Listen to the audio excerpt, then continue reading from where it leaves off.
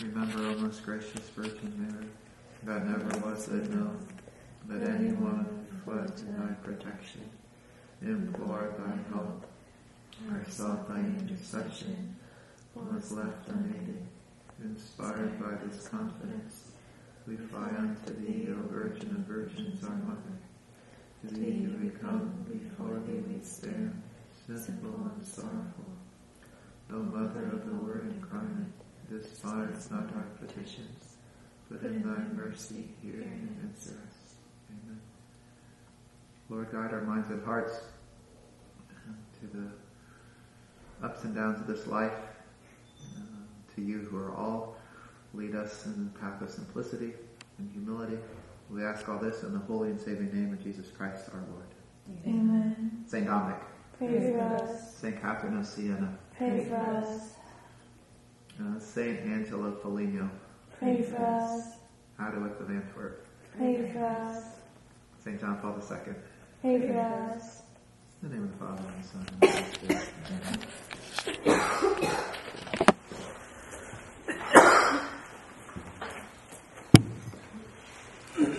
You might have noticed, I, uh, so I prayed to Saint Foligno. Okay, that's obvious enough. Um, I didn't pray to Margaret of Porete, um, and I didn't pray to Mechthild of Magdeburg. Um, I think Mechthild of Magdeburg is uh, closer to uh, being prayed to worthy. uh, but Hadewijch of Antwerp, I think she was saintly. So I prayed to her. Yeah, so we'll, um, I just want to say something. Okay, so before we get into Margaret of, of um, you know, a lot, a theme that's come up a lot with these uh, women mystics beguines is this theme of abandonment by God and a sense of desolation and in dealing with that. And I just wanted to just begin by noting why they stress it so much. And it's not that they're kind of dour or something or overly focused on negative things in life. But that it is sort of often like a crisis, right? You, you start this uh, a fervent relationship with the Lord. Uh, there tends to be consolations early on. You're, you're drawn to the Lord, and then all of a sudden something happens. You enter religious life, right? It all dries up.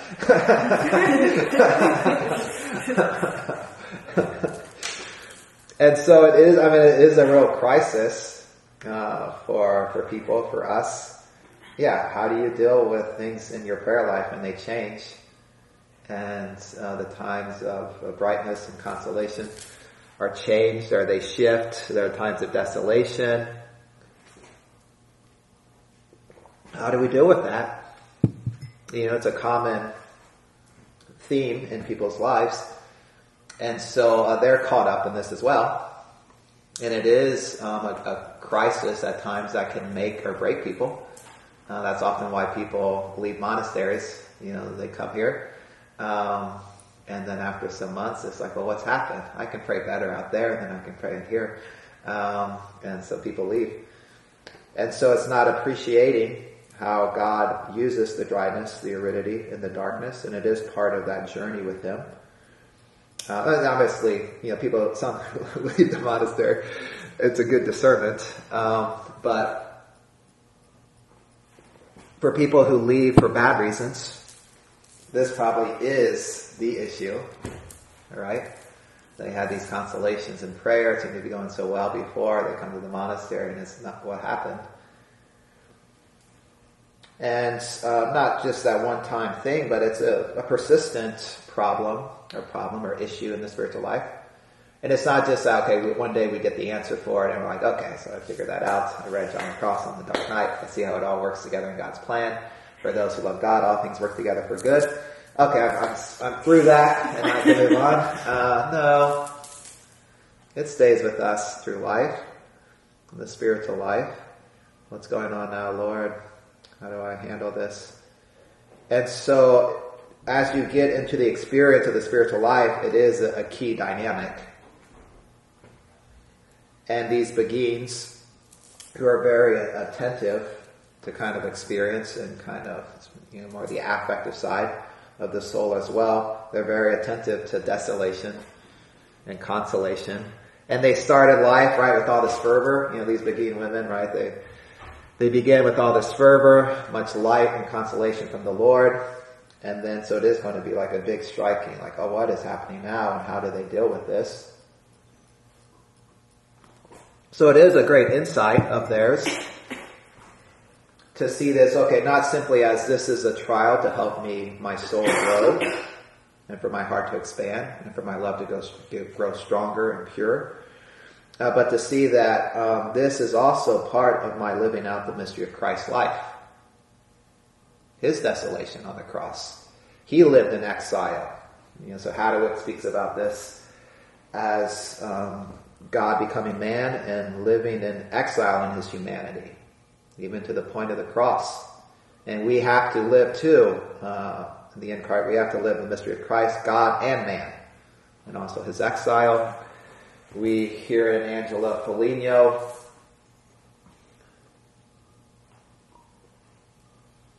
this game of love. Uh, you know, God pushes her far away, draws her close, this back and forth, and she sees it, you know, as a share in God, uh, Christ cry on the cross. So she says, my son, my son, speaking to Christ, why have you forsaken me? That kind of thing. And seeing this all as a share in Christ's passion and his poverty, contempt, suffering. And she bears invisibly in a way, right, the stigmata of Christ, just like Francis did. And we see it in um, Margaret of Porete. She uses this theme of near and far. This game of near and far. Sometimes we feel near to God, sometimes we feel far. To see it as part of uh, God's uh, plan. And who am I forgetting here? Oh, Mechthild of Magdeburg. Oh, yeah, so we just saw yesterday, blessed estrangement. so this sense of estrangement from God, seeing it as a blessed thing. Right, so that's kind of what they're, a key move they make, the alchemy that they're doing. Uh, they turn what would like be something that we want to avoid and we see as bad, um, into like, wow, oh no, this is God is at work here. Blessed estrangement um, this is a blessed state to be in. And um, there is nearness with the Lord because you're near to the Lord Jesus in his all the mysteries of his life, including the sorrowful.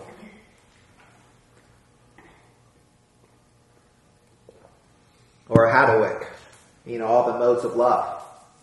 Yeah, this is love. This is a storm of love I'm going through. And the Lord is here and He's doing something with it. And it's love that's behind it and that's in it. That uh, is the, the end of it as well. So to have us kind of transition to that Copernican revolution or something, or just a new kind of different way of seeing things, uh, texts like these can help us to do that, to move into that, that place. You know, we know the principles, or we can know the principles, but that, that doesn't solve kind of the nitty gritty of day to day life. And, um, yeah, having to deal with uh, desolation and difficulty at times in the life of prayer. So with the Beguines, it has this new accent on this, on this um, experience and what to make of it and how to deal with this, this crisis um, from day one to day uh, and and then the Rhineland mystics pick up this theme and emphasis and emphasize it in a strong way too. Henry Suso, John Tauler, and then um, from John Tauler, uh, it gets taken up in John the Cross, and then onwards, you know, the classic treatment of the dark nights of the soul. And John the Cross too, you know, links it to Christ's cry on the cross. Ascent, um, book two, chapter seven, he has kind of a description of the dark night of the senses and soul where he links it to Christ's cry on the cross. So the Beguines are all background to that. I think of Angela Foligno, influences Teresa of Avila.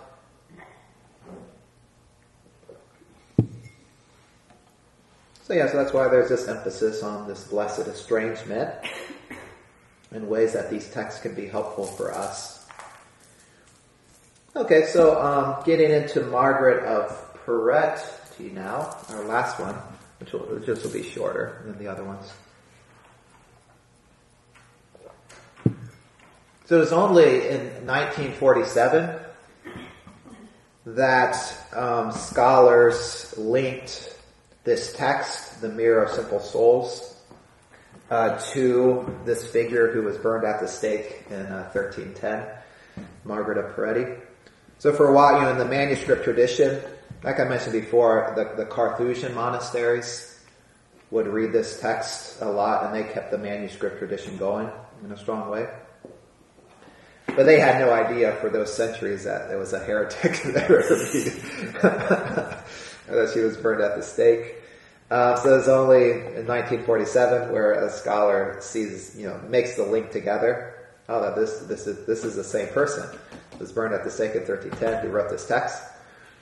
I mean, it never had a wide dissemination. This text, um, but you know, for centuries, they, people didn't realize who the author was.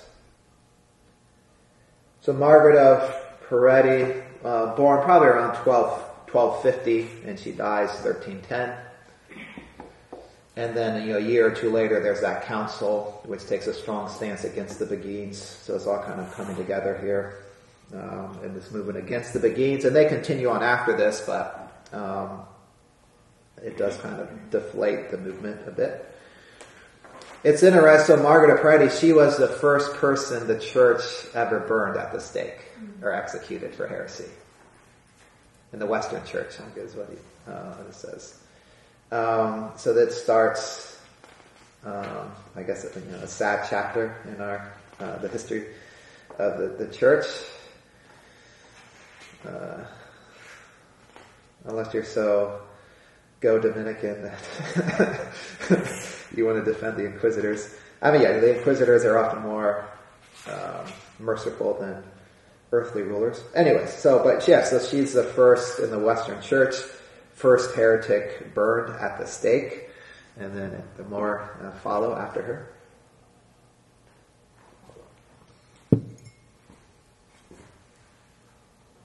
I mean, other people were burned at the stake, but not for, for heresy, I suppose. So uh, the big theme of Margaret of Porete, and again, so with, with her, just like the others, so just like Hadewijch and Mechthild, we know nothing really about Margaret's life except what appears in her own writings and her account of things. And we know, you know, the end months of her life, just from the, the trial. There, you know, there must be um, transcripts, many transcripts from the the heresy trial and so forth. And you know, during the trial, she just remained silent. She didn't defend herself or um, recant, and so uh, they took her as um, an unrepentant uh, heretic. And people were still edified. There were some people present uh, for the um, the execution, who note she showed many noble and devout signs of penance at her death, by which the feelings of many were moved to heartfelt compassion for her, even to tears, as eyewitnesses who saw it testified. So her text is the mirror of simple souls, and in fact, the full title uh, is this the mirror of simple, annihilated souls and those who remain only in will and desire of love. but that gives that gets at kind of the, the main theme of her text. The mirror of simple, annihilated souls and those who remain only in will, who remain only in the will and desire of love. They become, you know, all love. All that remains there is love. So this word annihilated gets us into a peculiar theme. Uh, that's big with the Beguines. As you might remember when we started, one of the three key characteristics of the Beguines is this theme of annihilation. Um, and so it goes, you know, so the courtly love motifs, um, the madness of love, the excess of love, um, passionate love, and then annihilation is another key theme. So we might be just quick to like dismiss this uh, annihilation talk, um, but to appreciate what they're they're getting at, and to appreciate how um, nothingness is sort of a theme in the mystical tradition, even among, you know, Orthodox uh, thinkers. So think of St. John of the Cross. Uh, God is the total, the all. But to get to the total, you need to go the path of the nada. Nada, nada, nada. Uh, nothing, nothing, nothing. Up the ascent, not this, not that.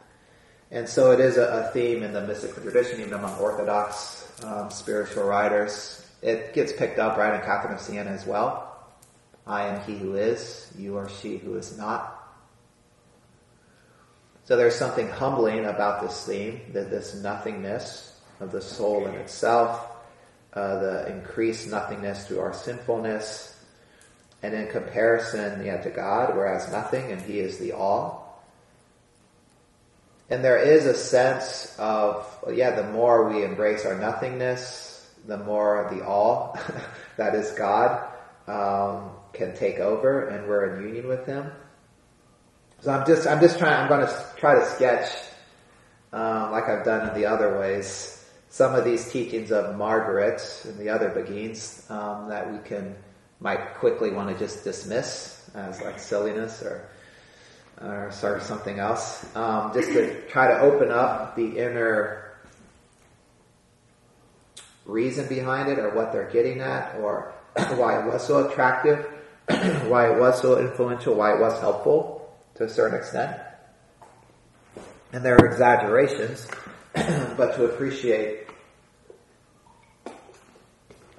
that there is kind of an inner nugget that gets taken up by other um, Christian mystics as well, who are very orthodox.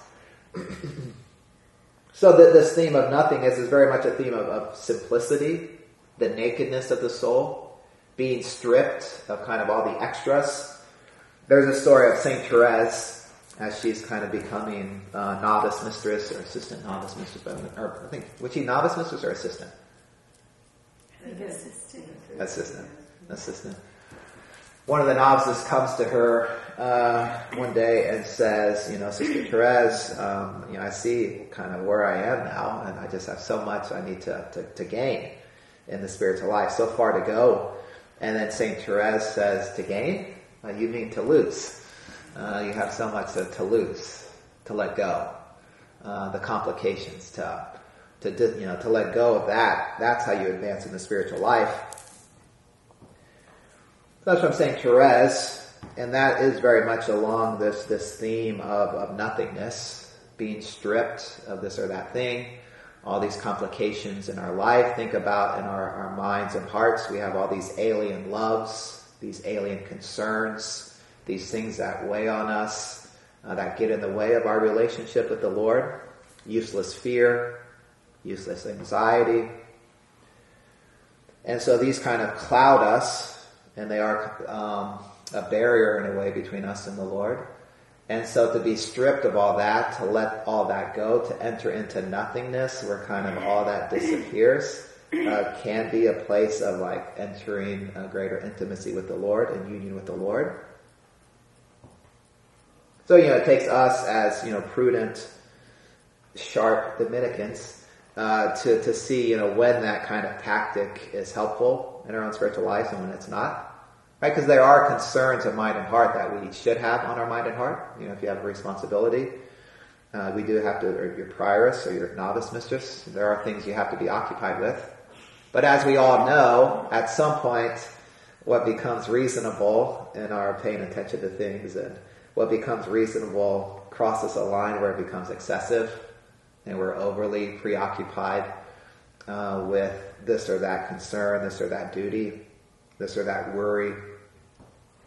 And so then to be able to like utilize uh, some of these like writings of the saints on the nada, on the nothingness, and to, to help that to let go, help us, help that, help, use that to help us let go of some of these things. Right, a lot of these texts in the spiritual tradition are not just stating facts, they're not just stating principles. Um, it is more of a, rhetoric that's helping to bring us to a certain place, kind of in spiritual disposition, spiritual attitude spiritual stance. So you know, St. Catherine's, um, I am he who is, you are she who is not, right? Metaphysically, it's not true. Uh, we, we do have like created being. Um, but it is helpful when we are kind of puffed up, when we are struggling with pride, when we think it all uh, counts on me. It's so helpful to enter into that. Yeah, God is he who is. I am he who is not. And it brings us to that place of humility. So the, these texts contain a certain rhetoric, a, a, certain way of moving us to a certain place. Um, not just giving us principles, but bringing us, because it's, you know, principles work great for just the intellect. Uh, but when you have a whole kind of emotional uh, being and moods and um, habitual ways of responding to things, habitual dispositions, uh, to get those emotions kind of in line with the principles and with the truth can take some work.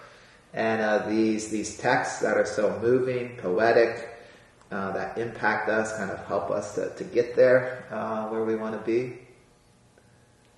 And so then the trick is to have you know a prudent, clear mind, and like yeah, discern like when when this is helpful, when it's not. When when am I getting too caught up in this or that duty or this or that relationship? Right, if there's a relationship with, with another sister in the monastery that's just like consuming you, you come to the chapel, you just can't break away from it. uh, at that time, it's good to hear John the Cross whisper in your ear, live in the monastery as if you were the only one there in the monastery. It's like, oh yeah, Lord, it's just you and me. I let go of that. And so then you, you take that principle and not as like a universal, always applicable principle, live in the monastery just for the only one. I'm not going to serve you supper tonight. I'm not going to care about you at all. Um, no. Uh, John didn't intend that. I mean, he knows uh, the Gospel of John well. the teachings of Jesus, love God, love neighbor, he knows that. Uh, but these things are helpful to kind of get us when we are, when we're like overboard one way in our emotions and our, our dispositions, to kind of uh, get, get, get us back, get us back to, to the middle place of virtue. So this, this theme of nothingness, annihilation, I mean, it's strong, strong language. Um, but it, it's a place. That strong language helps move us to a certain place. And it, it's left to us to prudently use these texts and these ways of thinking to reach that um, center point. Right, John across uh, humility, perfect humility is being established in the center. Not to kind of lift it up, not to push down, but you find your center point, that's humility. And yet to find that center point, we do have to use nada, nada, nada we have to enter into the nothingness, the nakedness of soul, um, to get there. But we're ultimately aiming towards that center point. so annihilation, self-annihilation, is very much tied to uh, the theme of surrender in these writers. That radical surrender, abandonment to divine providence.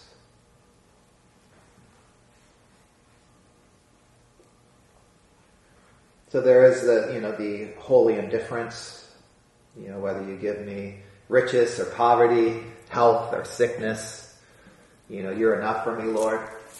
Your love is enough for me. Isn't there a song? Puts Ignatius's prayer or something. But yeah, so to, so that's, that's at the heart too of what they mean by annihilation. The self is annihilated, your own preferences, uh, the old, you know, it's the death to self that Jesus speaks of. Whoever finds his life loses it. Whoever hates his life in this world finds it, keeps it for eternal life. I think even the, you know, whoever finds himself loses himself. Whoever hates himself, that shows up in the gospel somewhere. Whoever hates himself finds himself. And it's, you know, that old man, the self-centered person egoistic person needs to be annihilated. Needs to be done away with. so that's part of the driving force of their language of this uh, annihilation, this emptying of self. And so that's another one, you know, kenosis, Philippians 2. uh, the Lord, you, you have in yourselves the mind, the phronos, or the, the attitude uh, that was in Christ Jesus, though he's in the form of God, he emptied himself. And something about um, this conceptual framework of annihilation that helps them to enter into that emptying of self. That God might fill them, emptying of self, so that that might be totally surrendered to God's will. Meister Eckhart, one of his, his, best work, I think, I mean, he has some really good sermons, but um, his work that he gave to Dominican brothers in his convent, it's on like resignation, I think it's called. It's about this absolute surrender. So he's picking up these themes and running with them, their gospel themes as well. But he'll say things like, um, and then this is a way to union with God. You know, he says, if, if you have no more will, God's will, like, automatically has to take the place of your will. Nature abhors a vacuum, he says. And so if you have no will, God's will automatically has to take over. I mean, you can push that too far where it, it doesn't. It's not true. Uh, but um, yeah, if you get rid of your self will, God it has to be God's will. Uh, it takes over, and that's a place of intimacy with the Lord. Uh, the place of intimacy and union with the Lord is being in His will. So I mean, that's a, a, key theme for all of them as well. Where is God found? He's found when you're in His will. Um, and when your your self will, I mean certainly your self will, your your self centered will, when that's annihilated, and it is God's will um, that you're in line with, and so there is that union with God. So you know this is more. I mean it does it. I mean we have to cooperate with God's will. We have to. You know, living out the Beatitudes, the Sermon on the Mount, uh, requires a lot of action on our part. Uh, but there is, it is helpful when you have like a plan you have your own will in something, the way you wanted to see something turn out, and it doesn't happen, uh, then it's a good place to be annihilated in your own will. and then God's, then you find God because His will shines through and you're surrendered to it. You're giving yourself to that. And so this, this surrender to God's will is a, a key theme, and that's a place of union with the Lord. Right? That, that's totally true and orthodox. It makes sense. And they, you know, and the other, so they do push it uh, far though. I mean, even think of the, you know, that treatise, Self-Abandonment to Divine Providence. You know, that's quite, you know, strong language um, in itself, self-abandonment to divine providence. Um, Elizabeth of the Trinity, speaks about kind of the annihilation of self so that Christ might live in her. The dying of self. But ourselves don't want to die, so we need the strong language of annihilation to kind of help get there. And in that place of nothingness, the all will shine through. So another place for this talk of annihilation and nothingness is, especially in prayer, as we grow deeper in prayer, right? It's more about God's action than ours. We're receptive to it. There's a passivity to that, to the Lord and His action. Not a passivity that's too premature, that comes too early, but um, when God begins to act, to let Him have His way. And so this is another way that they push things far here, just like with respect to prayer, and where God begins to act and take over, and in our place is to receive um, and enter into that simplicity, that silence of soul, attentive to God. And so here's another place where the language of like the annihilation talk comes in. You know, Margaret will say things like, you know, if you act, God can't act, or something, or your acting gets annoyed. Um, so there are excesses, and it is kind of preparing the way for quietism. So you know, there's a heresy in the 16, the 1700s where um, people were encouraged to enter into that passivity too soon, kind of on their own effort, where you are just kind of left with nothingness centering prayer kind of falls under this accusation sometimes too. And it can if it's pushed too far, but it could be used uh, in a more proper way as well. But this theme of annihilation, it's about, yeah, letting God work, God's work take over, especially in prayer, to abide in silence and the, the nothingness of yourself and to receive from the Lord.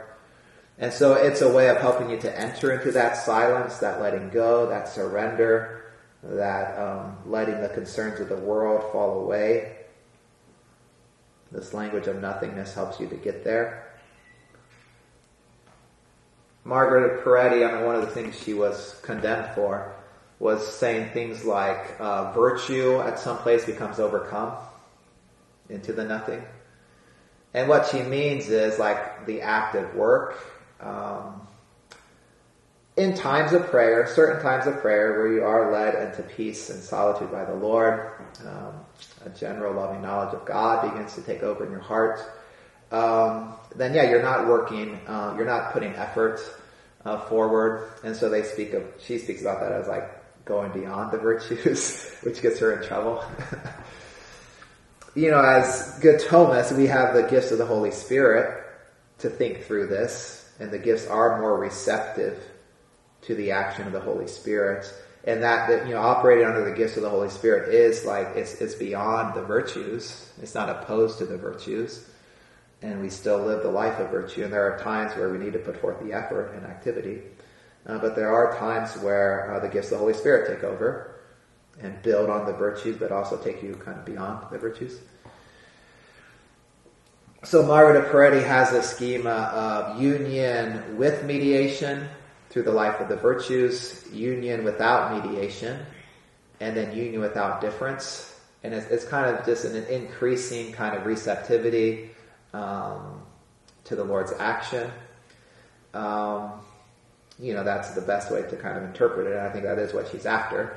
Uh, but it, it led to misunderstandings as well. You know, add to this, among the Beguines, uh, there were kind of moral excesses as well, and there were things like, well, yeah, being with the Lord and the way I live doesn't matter. Um, and so you, you add the way kind of the moral failures of some Beguines, uh, then you add it to like texts like this that make it sound like you're going beyond the virtues, and then you see why the church is concerned. For good reason. But this language of union through, with mediation, union without mediation, union without difference, is taken up by Blessed John Ruysbroeck. And he does a good, better job of explaining it, elaborating it in a way that's, that is orthodox and doesn't lead to the, these excesses. One more thing about nothingness, the theme of, of nothing in the mystical tradition, is that, you know, Eckhart has lines about God, you know, being nothing. Um, and what he means by that um, is that yeah, God is no thing. You know, literally nothing is no thing. God is not one thing among other things. Um, and so it is a way of emphasizing um, God as other. It's you know a strong strand of, of apophaticism. Apophaticism. Uh, God is, is, is, a nothing. He's not this or that thing we imagine. He's beyond all that. And so mystics um, like Eckhart and, and Porete um, and even Henry Suso, blessed Henry Suso in the place, um, speaks about uh, you know the ultimate contact with the Lord is, is contact with nothing. Um, but it, it's understood in this context of apophaticism and God being beyond every other thing. And that is helpful, right? As to kind of help us get, get us beyond idols we have of God or images of God a more pure encounter with God um, beyond these images or idols might feel like more like nothing experientially at first uh, than it would other kind of encounters with God we might be used to.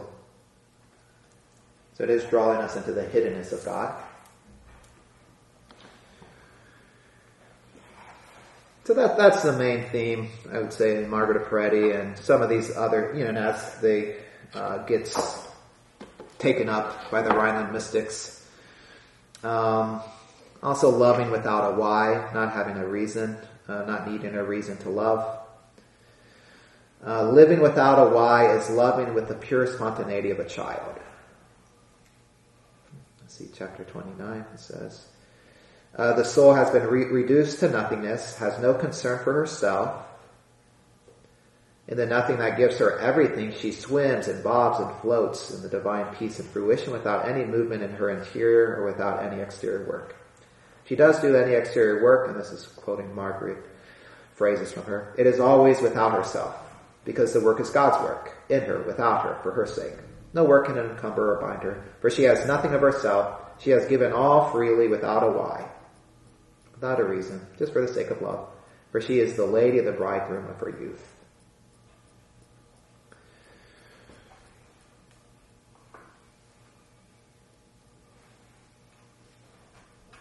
And another thing that Margaret goes far with is something we talked about yesterday. This and, and before, um, our exemplar, our eternal exemplar of ourselves in Christ and with united to God has been in God's mind from all eternity. And so, um, partly how we get to union then in this kind of approach is by stripping everything else away.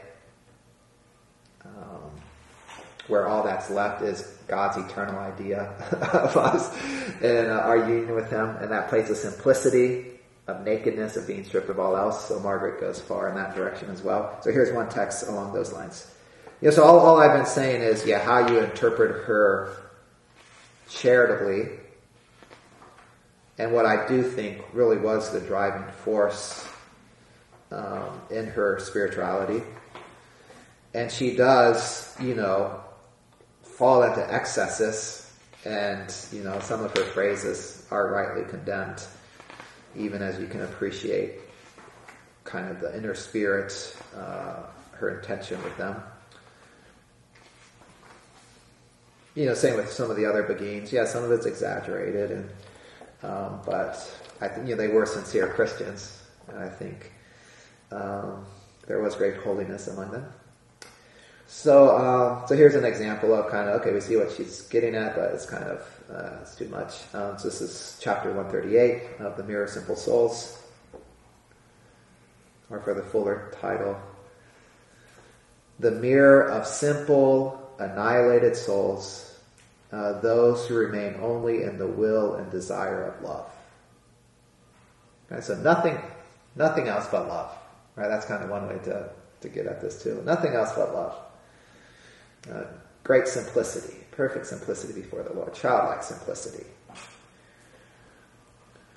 Uh, so, chapter 138 now she, the soul, is in the being of her primordial being, which is her being. And she has left, uh, so she, she had laid out three deaths that you have to pass through to get there in this annihilation. She has left the three deaths behind and made the two natures one uh, God and herself. When is that one? The one is when the soul is melted into the simple divinity, which is one simple being of spread out and diffused fruition in full knowing without feeling above the mind. That simple being does in the soul from charity whatever the soul does because the will has been made simple.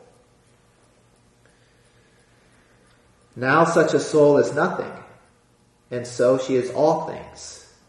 Right? That kind of sounds like John the Cross. Nada, the, the toto, nothing, and then the all. Now such a soul is nothing, and so she is all things. For she sees by means of the depth of understanding of her wretchedness, which is so deep and so great, that she finds there neither beginning nor end, nor middle, only an ab- abyssal abyss without bottom. There she finds herself without finding and without bottom. Um, yeah, you know, so I would say, you know, Margaret of Porete, I read this book one time uh, in college. It was part of our reading for this class I took on the Rhineland Mystics.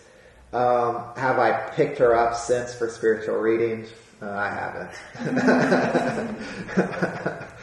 uh, so just, you know, just as you kind of think about how you might get into these people or, or not, um, certainly, you know, Angela Foligno, she's kind of the, her expression uh, is, is, is, best at some of these themes. Then Hadewijch of Antwerp, Um, so that was kind of, I would recommend them in that order, uh, those two. And then, okay, and then Mechthild of Magdeburg, if, you know, um, or Margaret of Porete then at the end. So, but those last two, I mean, if you don't get to them, it's okay. uh, yes, I, but I would recommend Saint, Angela Foligno, and then Hadewijch of Antwerp. And even Hadewijch of Antwerp, you need to be, just read her prudently and with your Dominican mind. You'll be okay. and she, she's more poetic. But some, I mean, these other texts, it is interesting to know Margaret of Porete just because she did influence Meister Eckhart, and Eckhart read her. And you can see her, him taking themes, especially, you know, this loving without a why is a favorite theme of, of Meister Eckhart. You know, don't love because of something you get out of it. You know, don't love to impress the other person, but also don't love for a reward. Uh, love without a why. Love without a reason. Just because you are loved, because uh, that's what it's all about. so there's great simplicity there. So I'll just read a few more texts of Margaret and then we can open up to questions.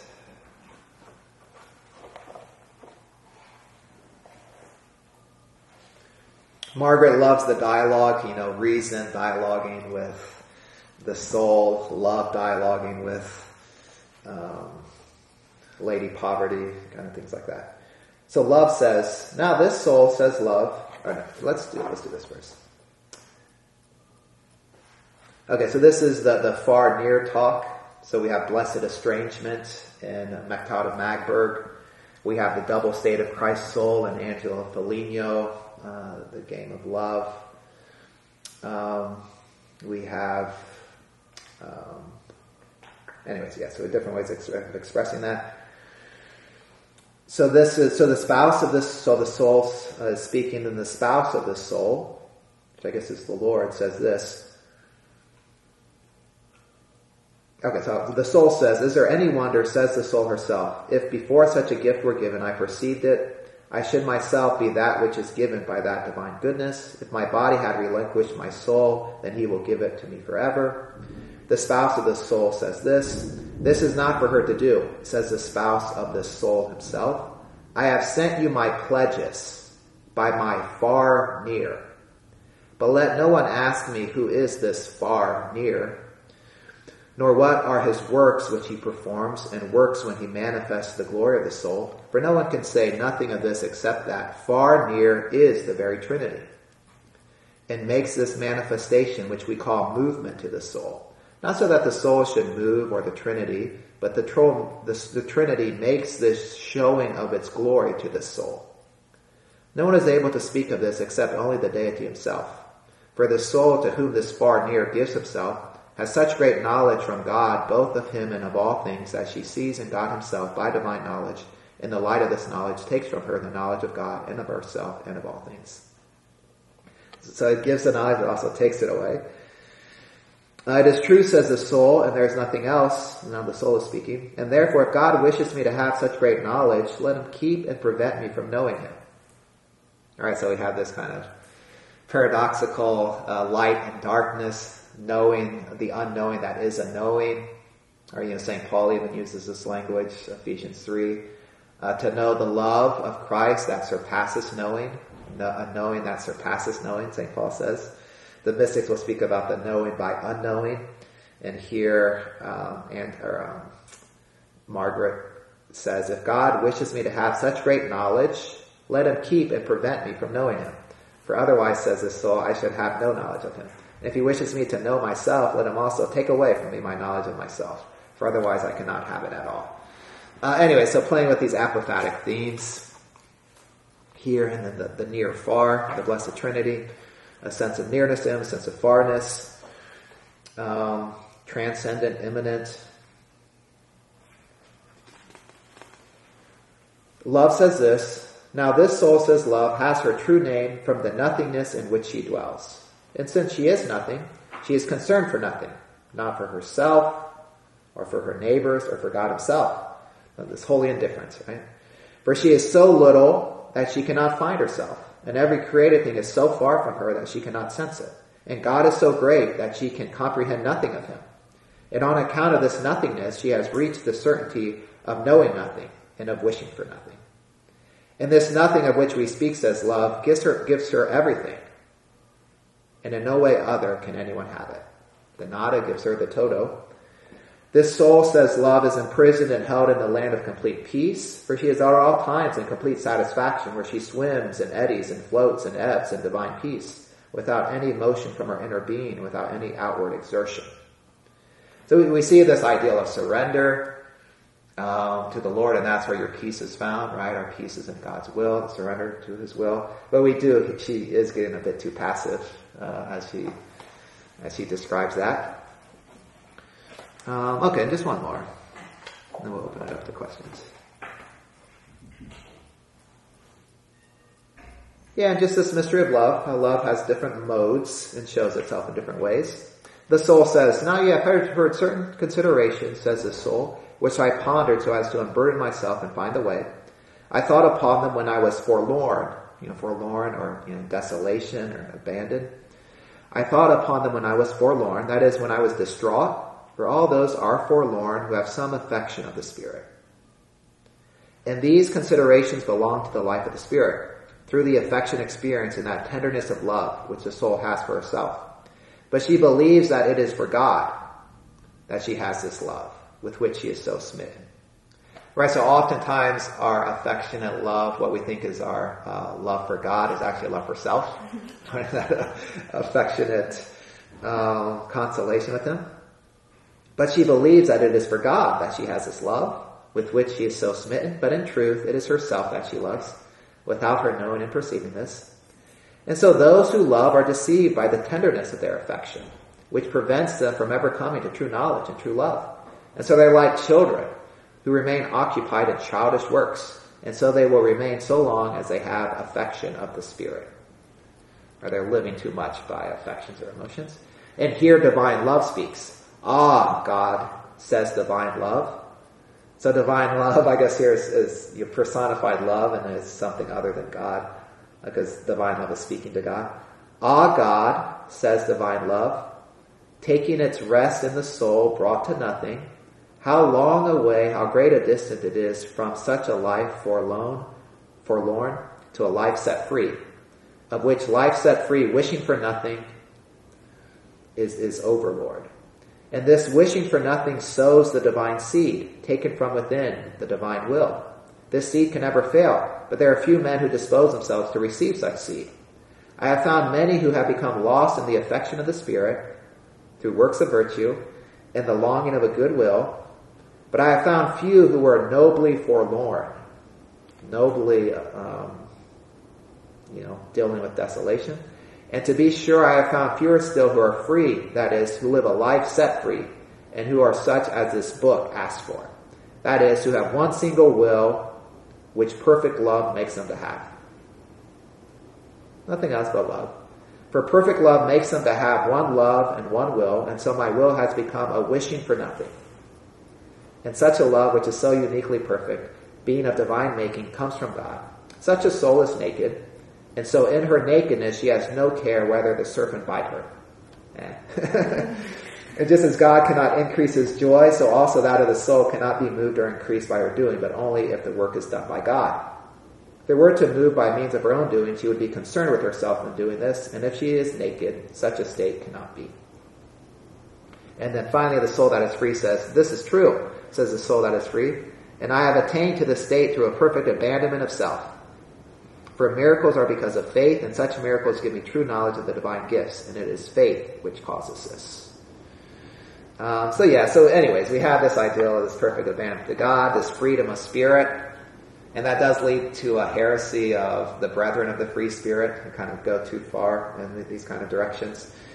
Um, it's a forerunner of, of the quietist as well. So anyways, we can see what she's up to, but um, she does take things too far. But she does leave her mark on Meister Eckhart, which leaves its mark on uh, Eckhart, or uh, Tauler and Suso, which we'll treat next time we're together, I hope, three months from now or so.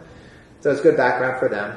And just to appreciate this interplay between the friars and these Beguines, and how it's not simply the friars influencing the Beguines, but the Beguines also influence the friars, And the friars, especially Tauler and Suso, do a good job of taking what's best in these sentiments and these movements of the heart and spirit, uh, taking what's best from them and then expressing them in, in more orthodox and better uh, language.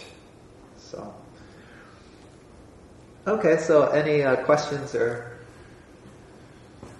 or comments? Yeah. So this language of abyss, Yeah. darkness, uh, is this something that comes from, I don't know, Neoplatonism or? mm, Oh, interesting. So where where is this coming from? Because uh, in China, Asian China, uh, Yeah. the, the ideal is almost something similar, but you don't find such language when it describes similar things. So I was just wondering where it comes from. Yeah, right, right. Um, so Gregor of Nyssa, so the Cappadocian father from like the 300s, um, he speaks about a glowing darkness, and so he uses uh, Moses as an example of the the ideal one who contemplates. So he has a book called uh, The Ascent of, or no, uh, The Life of Moses, and a lot of this is how Moses encounters God in the darkness. He encounters God in the darkness as he climbs up the mountain. And that's the model for all contemplatives to encounter God in the darkness. Um, so the Cappadocian fathers um, developed this theme. And from Gregory of Nyssa, he influences three people who kind of push this theme forward, and then it gets taken up into the rest of the tradition. Uh, is influenced by Gregory of Nyssa and the Cappadocian fathers. Pseudo Dionysius is influenced by Gregory of Nyssa. And from Pseudo Dionysius, this language gets, you know, St. Thomas Aquinas has um, a commentary on the divine names of Pseudo Dionysius. Um, and then John of the Cross um, is influenced by Pseudo Dionysius as well. Um, and then the other one is Pseudo Macarius in his homilies that um, Gregory Nyssa influences. Um, so that's a key place in Christian tradition, uh, this language of darkness. But again, for them, for Gregor of Nyssa, it's a glowing darkness. It's a darkness that's because of an excess of light. So Pseudo Dionysius uses the image of a bat that's blinded in the sunlight because of too much light. I think that's from Aristotle, actually, as well. And so again, to the Cappadocian father, these two are influenced by Neoplatonic thought. Um, so maybe they are using some of um, the language and ideas of the Neoplatonists. Um, but on the other hand, my claim would be that um, this talk is, is scriptural. It's in the Bible. And so what I mean by that is precisely the life of Moses. Um, they encounter, he encounters God in the cloud, the dark cloud, and right, I don't think the sacred authors were just giving us the weather report of that day, that it was cloudy. That cloud, I mean, if you want to capture in symbols, if you want to capture an encounter with God who is mysterious, God is who I am, who I am, you can't see my face, you can only see my back. You know, that's one way to capture it. this mysterious encounter with God is, okay, you can't see my face, you can only see my back. Uh, that suggests something of hiddenness. And then um, encountering the Lord in the, the, the, storm cloud and the cloud, that darkness, um,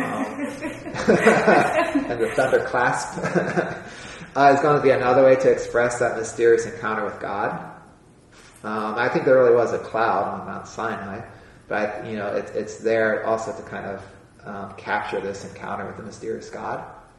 So I think uh, using Neoplatonic concepts uh, to kind of open up this idea of this encounter with God. Um, that's a glowing darkness. Um, I think it helps bring out what's already there in the Bible. So And then, then the Mount of the Transfiguration. I want sorry, one more. So Matthew seventeen five, the Mount of Transfiguration. There's a cloud that overshadows them. So you, you kind of think of darkness when you think of cloud. But uh, Matthew says it's a bright cloud. Uh, so we're back to that language of Gregor Nyssa. Uh, or no, no, we're back. Well, yeah. Uh, the glowing darkness. It's a darkness because of excess of light, kind of this mysterious knowing by unknowing. um, yeah, it's where uh, God takes us beyond our own, beyond the limits of our concepts through the gifts of the Holy Spirit and brings us to that divine mode of the gifts of the Holy Spirit, uh, where we have a tasting of God, experiential knowledge of God based on charity, a deeper penetration of the mystery uh, through the gift of understanding. Is, is it Paul who said that we are no longer like, approaching God in darkness, but in light? Yeah, right. like? Yeah, yeah. And so potentially there could be another way of interpreting the bright cloud as like just bright, even That's just without bright. darkness. Yep. No, that's true. That's true. Um, yeah, so there is a way in which the life of faith brings us from darkness into the light. You know, so there, is- you know, faith is light. The light of faith uh, brings us from the, the, the place of darkness. Um, but there is also a way in which faith is not yet seen. Right? Uh, we walk by faith, not by sight. And so um, faith compared certainly to the be- beatific vision has a sense of not yet, uh, a darkness, a hiddenness. Um, so, okay, yeah. Um, so yeah, it, it, it depends on, uh, and you know, today we had the readings from Ephesians um, 4, 5, 4, 5, not 5, um, about walk as children of light. You are children of light. So yeah, so well, so certainly in the, okay, so we'll put it this way. Um, I think even so in the scriptural tradition. So another example, think about uh, when the temple is dedicated, and that cloud fills the temple, and the priests are no longer able to minister. And so the glory cloud of God comes into that temple. The priests are kind of left in this um, doing nothing. They're no longer able to do their work. The storm cloud, you know, the, the cloud fills the temple. Uh, there is something like that's getting at this deep encounter with God as well, this contemplation where the, the activity is stilled and you're entering into that silence, bowing before the majesty of God. So there, there's that in, in the Bible. But I would say this theme of light and darkness, the Bible emphasizes more the light, which is, I think, your point, uh, Sister Jolin. Um, and then in the Christian tradition, thinkers like the Cappadocian Fathers um, and Pseudo Dionysius and John of the Cross and these Beguines, kind of a, an emphasis on the, the dark uh, kind of comes in more than the Bible. So, right, but we do have to remember, you know, God is light. In Him there is no darkness at all. Uh, yet we have all those psalms. You know, He has made darkness His raiment. Um, we have a lot of psalms that you know God has made darkness the cloud His raiment, and so that the psalms too also capture you know like uh, Moses on the mountain, like the priest in the temple who can't minister anymore because the cloud has come in. Um, the psalm suggests uh, this kind of um, place of encountering God in the darkness as well, and the hiddenness uh, through faith uh, alone. Still small voice in a way uh, gets at that. So, yeah. Yeah, so there's cataphatic and apophatic. Cataphatic emphasizes more knowledge of God that we do have. Apophatic emphasizes more that God is the, the beyond uh, all this. Um, and so, yeah, you can emphasize one or the other more. And I think you know, Scripture, um, there's both, but it, it is kind of the light talk, I'd say, predominates. And that, you know, that's, if we want to lean in that direction, that's good too. St. Bernard, he ends his Song of Songs homily. He doesn't end it deliberately, but his last words that he wrote before he died, and uh, it remained incomplete, was "Live as children of light," uh, which is the the first reading from today. And so, in Bernard, there is desolation, there's consolation, but I think also in Bernard there is kind of an accent on brightness and uh, live as children of light and uh, the light of God. So that's a fine accent to have. But to uh, appreciate in your own spiritual life, uh, that you know there is kind of there, there's this other side too. Um,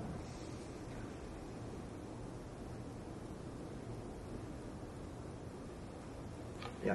Um, So for Angela Foligno, it seems like the Carmelites really picked her up a Yeah. lot more so than others, and I was wondering if you had any thoughts on why that's the case. Because you know she was a Franciscan, but the Carmelites seem to.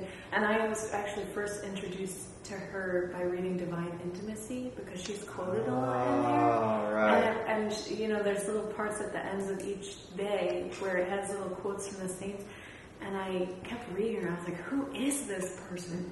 Um, but then, you know, from that, but then also you had said, you know, St. Teresa of Avila, you know, refers to her, you know, St. Elizabeth of the Trinity. And so, do you know, like, what is so attractive, particularly about her, or themes that she uses that are that are really kind of conducive to Carmelite spirituality? Yeah, interesting question. Um, yeah, so we just so we know that there are her, texts of her works. You know, they end up in Spain in the 16th century, so accessible to Teresa of Avila. They end up in uh, France, the 17th century, and so then the French Carmelites uh, kind of uh, have access to her then. So I don't know all the details of how that came about, why they were kind of brought there um, or how that happened, the dissimulation of the text, dissemination of the text in that way. Um, okay, but as far as what's attractive, um, so you know, I, I do think. Um, so I would just say that more than strictly Carmelite, um, I would say it's it's a, she's attractive to contemplatives, uh, people who live the contemplative life more exclusively, because of this theme of the double abyss in our own poverty and in God's overwhelming abundance. Um, that it, it rings true with people who spend a, lot of time in, in prayer. Um, and all, you know, some- of the similar, the apophatic themes. Uh, you know, Angela says, you know, every time I say something of God, I, I feel like I have to say I'm a liar because it's not true what I said. So I would just say it's, it's more that um, contemplatives are attracted to her to spend people who spend a lot of time in prayer because um, we wrestle with these things more and they come to the fore more, and she gives kind of a, a way of expressing that and kind of entering into it or thinking about it. So, yeah. yeah. Also, I mean that in the midst of all that, you know, there's the incarnation for Angela Foligno, that's front and center. So that's one of the things that I mentioned that is a, a striking thing about her. Mostly when people tend towards apophaticism in a strong way, it means kind of the incarnation is less stressed. Because, right, in the incarnation we do have, in a way, a direct um, encounter with God, a direct knowing of God right? It's the divine Son. It's His human nature that He speaks to us um, through. He acts out in our presence, in our human history. Um, so you know, so oftentimes when people go apophatic, they tend to stress less the incarnation. You know, so like the cloud of unknowing uh, by the English. Um, could be an English Carthusian. I like that theory the best. Oh yeah, we don't know who the author is. Uh, but he goes strong in the apophatic direction. And th- there are references to the incarnation, but it's, it's less stressed. Um, but Angela Foligno um, keeps the incarnation of Jesus Christ at the center while going in the apophatic direction. And so I think that appeals to the Carmelites too, and you know other Christian contemplatives. But the Carmelites, you know, the Teresian reform, you know, Jesus is so important, and keeping him at the center. So that's probably another reason um, that she's attractive, attractive uh, to Carmelites, but also to other uh, Catholic contemplatives.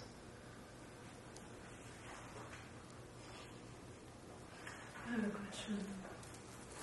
Um, you mentioned about Minne being like a feminine pronoun, and even before you said that, I was wondering, like, why, how do I even? I mean, it's harder for me to like delve into writing that talks about like these attributes of God and feminine, like pronouns. I Yeah. guess like even like the Book of Wisdom is hard for me to like get into, like Right. wisdom as a she. So I was wondering, do you think she purposely chose? Like, do you know if there is a masculine noun, like, or is that just You know, Oh, right. like could she have chosen to write in masculine terms, or did she choose? Yeah, a little rusty on my middle Dutch. uh, you- Well, Was um, you said Matilda uses the same word. Oh, that's true in German, I think, right. I think it's a, a diminutive as well. Oh. so I think it's a term of endearment. Hmm. I mean, I'm not positive, Right. but I think, I mean, I've studied a little bit of German, and, I, and as I saw it, I think, um, Ah. like in High German, it was seen as like a term of endearment towards someone Wow. as opposed to like just like love. It was like what you would say to the one you like loved in this very particular way. Wow. So it's like I think in this case, at least what I thought about it is it's like it's kind of taking to oneself this kind of like in a very close and tender way the love as opposed to just being like pat just the pure passion or something like that. Exactly. But I mean That's I'm right. not I'm not positive, but from my very limited thoughts on, on like high German, I think that might be something. No, that's helpful. Yeah, it's more German than I know, and that it rings it rings true. It makes sense. Um, I mean, Julian of Norwich, she's someone too who kind of emphasizes the maternal um, side of God. Okay, so whether they had a choice here, yeah, I don't, yeah. So what? Um, how else? Angela or Hadewijch um, and Mechthild what other terms they do use and could have used, um, and whether it's intention. You know, they're certainly not like engaging in our current, you know, more modern inclusive language or something. That's like not on their uh, radar screen. They're not concerned about that.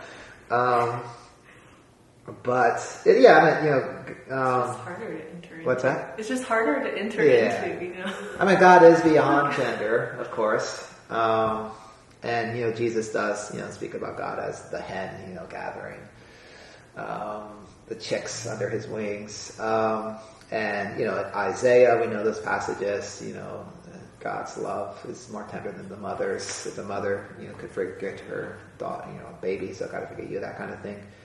Um, so there is that. So, you know, but God is beyond gender, beyond um, the sexes. But on the other hand, right, I mean, God does reveal himself as Father. Uh, so we want to maintain that. Um, no, if this frustrates you, um, Robert Robert Barron, um, before he was bishop, Robert Barron, one of his early books is on St. Thomas Aquinas, spiritual master, and it's really good.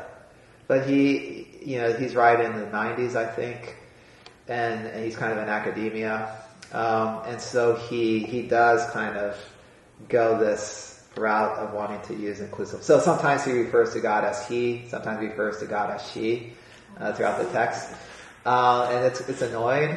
Um, and but it, it's it's yeah, it's it's too bad that because it's a good. It, he makes a lot of good points, and it is rich to kind of open up St. Thomas uh, to like people who aren't going to spend years uh, studying Aristotle and the Scholastics and enter into the Scholastic um, framework. It's it's great. Um, it's a great book, but it's kind of it's it's hard to read because of that. Um, so um, it could be worse. um, Do men experience a courtly love God in a oh wow, good. Yeah, well, good question. Uh, So this this so that's a, a, question we have to we, we hit directly when we go to Blessed Henry Suso because he's big in the courtly love motif and he goes with it. And so how does he deal with that? Well, um, it's it's wisdom. God has wisdom that He has this marriage with, this spiritual marriage with uh, with wisdom, with Lady Wisdom, who has um, who's divine. I mean, there are. Have you seen these images or sketches? I don't know if he drew them or people around his time, but there are depictions of like, yeah, this his marriage with uh, Lady Wisdom, and yeah, it's uh, depicts God as having both masculine and feminine um, attributes, which is a little odd. Um, so yeah, do men? That's a, I mean, it's um, or John of the Cross. I mean, spiritual marriage, so it's not so much the courtly love motif. but it is big in John of the Cross, you know, spiritual marriage and the bridegroom and the Song of Songs. Um, so I think what's important here um, for men, but also for women as well. So for John of the Cross, um, anyway, so I, I, find it helpful to divine bridegroom to make you know the, just even adding the word divine helps me to relate to the Lord as bridegroom in kind of this spiritual marriage type way, divine bridegroom. Um, but then in John of the Cross, he's so radical, severe and kind of the purification of images of God. You've got to move beyond it, move beyond it, um, into almost an abstract place. Um, and so to find this uh, spiritual marriage, love type language through that purification of concepts and ideas in kind of that almost abstract place, so to speak, you know, drawn away from the, the senses or the sensual. Um, I mean, that, that, that helps as you read, read like Song of Songs and some of this language, or like Mechthild, where she goes strong in the erotic language. It does help to kind of find that on a different level uh, than uh, simply like the bodily. Um, so John the Cross, you know, you do see that strong, intimate, spiritual marriage type love there, and it does shape him, but it's clearly on a higher plane uh, than just the sensual. Um, and so, how men deal with the courtly love kind of thing, I guess that's that's one way to. Well, even like I don't know about John the Cross, but like Bernard would refer to like the soul is she, and so it's this right. kind of a similar question for me. Is that like just a language thing? Because in Latin that would have been anima, which is a feminine noun, so right. soul becomes she, and so he can easily talk about you know the nuptials with the word as she, she the soul, and he the word. You know. Exactly. Yeah, so even the, though he's like a man talking about that, you know. yeah, right. So it's the receptivity of the soul that's kind of highlighted too when they speak about the soul as she, the receptivity uh, of the soul. Um, but yeah, no, it is. Uh, any, any other insights or opinions on this? Because it is an interesting question.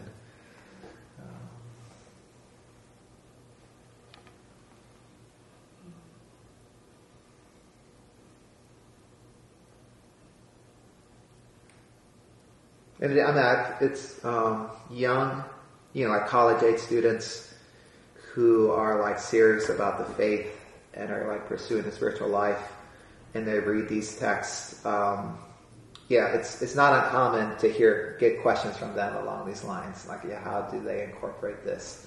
Should they? Or how do they? Um, and it is, um, yeah. Some of my stock answers what I said about John the Cross like finding it on a higher level. Um,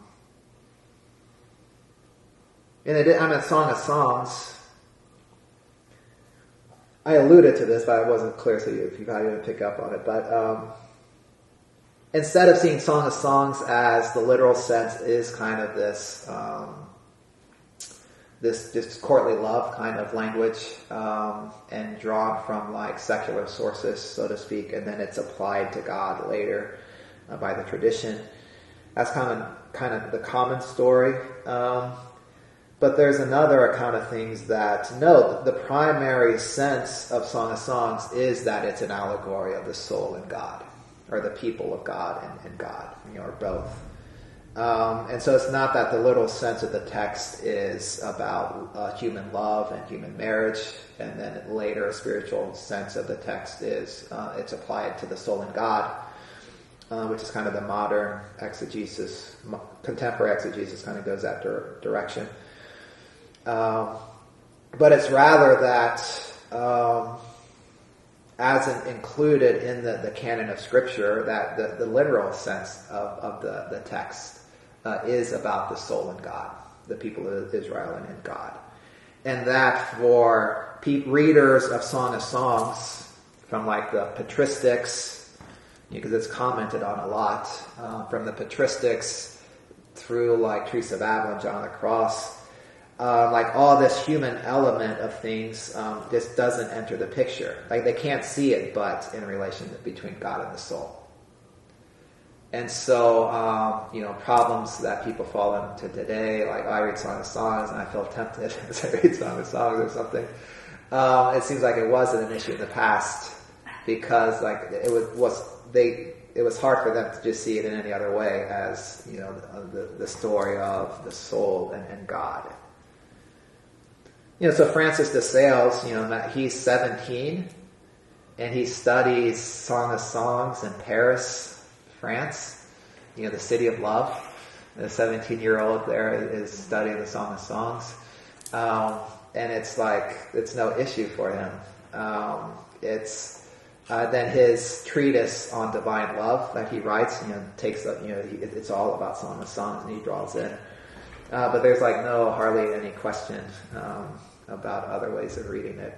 I mean, I guess the church fathers like Origen and Gregory of Nyssa have, you know, they do have things. Well, make sure you read this in the right spirit and don't read this in a carnal way. Um, so concerns like that are expressed, um, but I think it's less of a problem for them for them because they did see it primarily as this allegory uh, of the soul's love for God and God's love for the soul.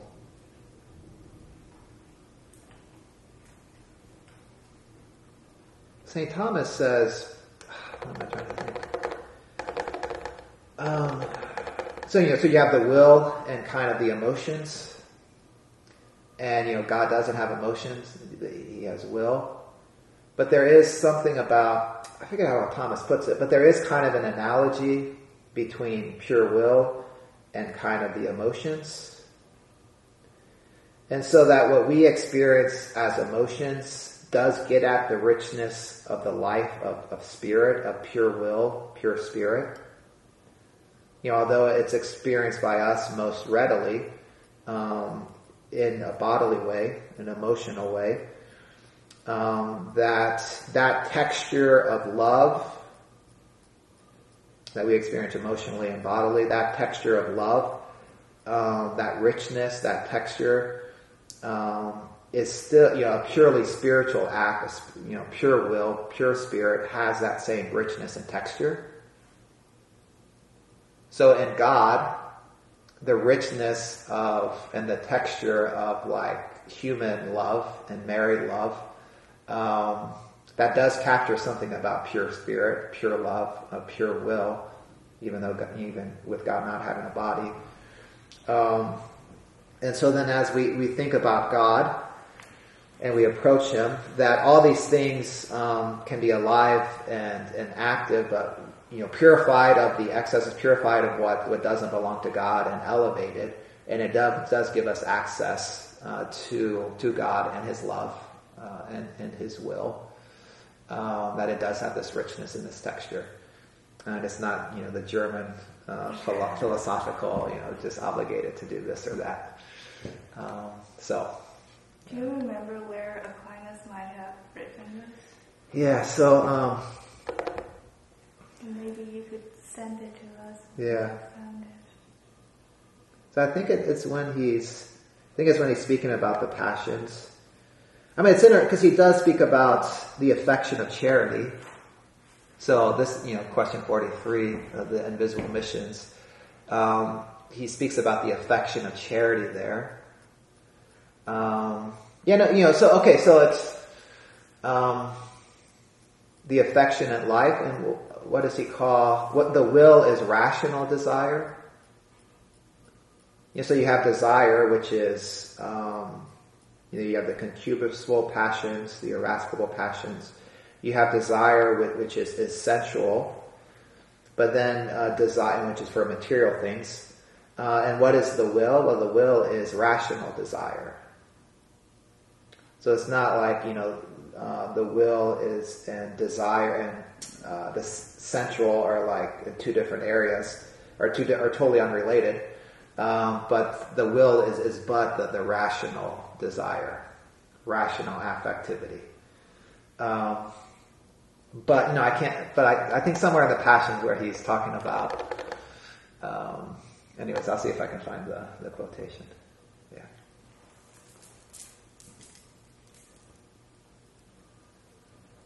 Yeah, I mean, it's yeah. God chose to use the image of human marriage to talk about His love for His people, and it, it's not that you know, and this is, comes to a new high point, right? Ephesians five, and he spoke about Christ and the church.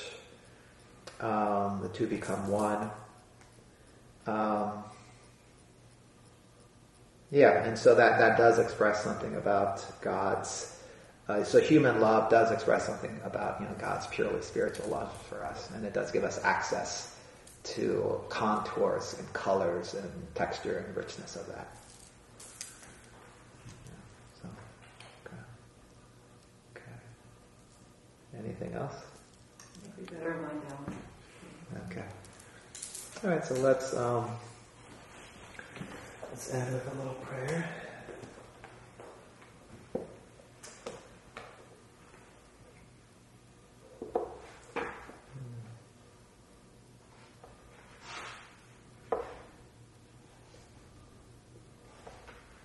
I just yeah I want to end just on a, just with the text and then I'll go into prayer.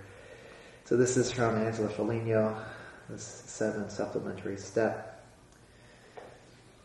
My soul has just been elevated to a state of joy so great that it is totally unspeakable. I can say nothing about it. In this state, I knew everything I wanted to know and possessed all I wanted to possess. I saw the all good. She also added, in this state, the soul can never even think of the withdrawal of this good, or about withdrawing from this good, or that it might ever have to be separated from it from then on. For the soul finds all its delight in this all good. Furthermore, the soul sees absolutely nothing that the lips or even the heart could afterwards speak about. It sees nothing and everything at once. Continuing to speak in this way, she said, Henceforth there is no good which could be described or even conceived in which I can place my hope. My hope rather lies in this secret good, one most certain and hidden, that I understand is accompanied with such darkness. As I, Brother Scribe, resisted what she said about this darkness and did not understand her, Christ's faithful one told me by way of explanation, the all good was all the more certain and superior to everything, the more it was seen in darkness and most secret. That is why I see the all good accompanied with darkness, because it surpasses every good. All else in comparison is but darkness. No matter how far the soul or heart expands itself, all that expanse is less than this good. What I've related until now, that is, when the soul sees all creation overflowing with God's presence, when it sees the divine power or the divine wisdom, all of which Christ faithful had said she had already seen in such marvelous and indescribable ways, all this is inferior to this most secret good, because this good which I see with darkness is the whole, and all other things are but parts. When God is seen in darkness, it does not bring a smile to the lips, nor devotion, nor fervor, or ardent love, nor does she see the body or the soul tremble or move at, at other times. The soul sees nothing and sees everything. The body sleeps and speech is cut off. And all the signs of friendship, so numerous and indescribable, all the words which God spoke to me, all those which you ever wrote, I now understand that they were so much less than that which I see with such great darkness, that in no way do I place my hope in them, nor is there any of my hope in them. Even if it were possible that all these previous experiences were not true, nonetheless, that could in no way diminish my hope. The hope that is so secure and certain is in the all good, which I see with such darkness.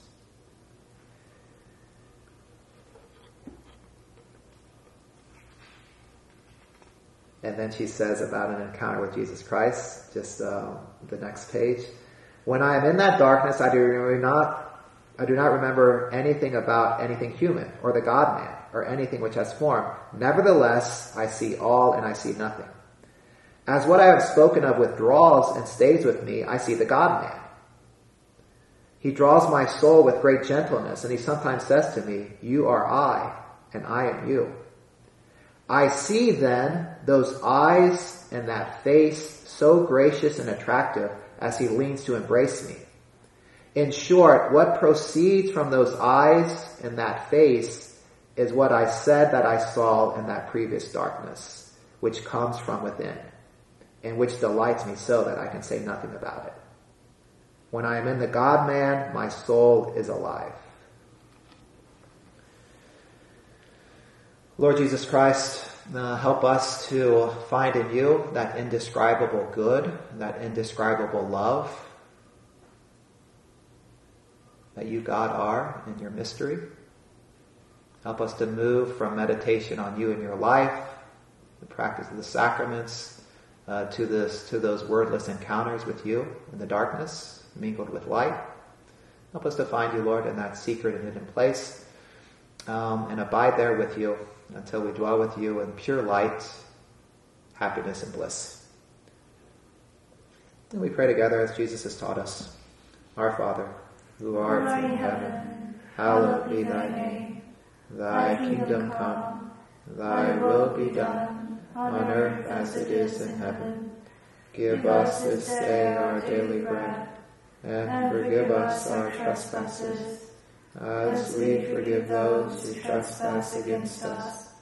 And lead us not into temptation, but deliver us from evil. And may Almighty God bless you, Father, Son, and Holy Spirit. Amen.